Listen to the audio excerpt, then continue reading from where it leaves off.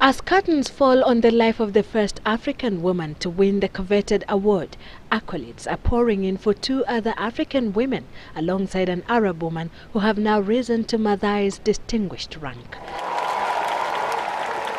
This year's Nobel Peace Prize has been awarded jointly to Liberian President Ellen Johnson Sirleaf, a Liberian peace activist Leymah Gbowee and Tawakkol Karman, a Yemeni pro-democracy activist. The three were recognized for their non-violent struggle for the safety of women and for women's rights to full participation in peace-building efforts. We cannot achieve democracy and lasting peace in the world unless women obtain the same opportunities as men to influence developments at all levels of society.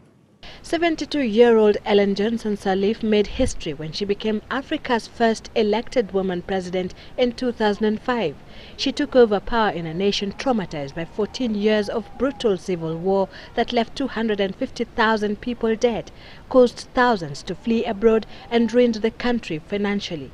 But her rise to power might not have been possible without the efforts of Leymah Gbowee, a 39-year-old activist who led Liberia's women to defy feared warlords.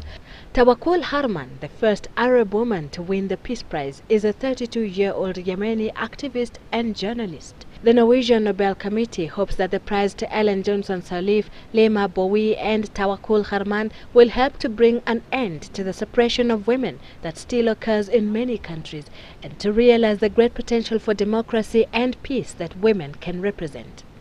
The three are expected to receive the award, which includes a 1.5 million US dollar cash prize, the equivalent of 150 million shillings, sometime in December in Oslo, Norway. Sylvia Citizen Weekend.